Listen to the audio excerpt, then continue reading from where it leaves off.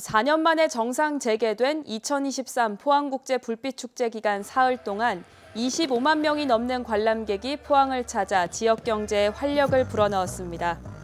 포항시에 따르면 올해 불빛축제에는 주 행사장인 형산강 체육공원 주변에만 사흘간 12만 명의 관람객이 방문했고 인근 부대 행사장 방문 인원까지 더하면 25만 명이 축제를 함께 즐긴 걸로 집계됐습니다. 많은 관광객이 모였지만 경찰과 공무원 자원봉사자들의 노력 덕분에 별다른 안전사고 없이 행사를 마칠 수 있었습니다.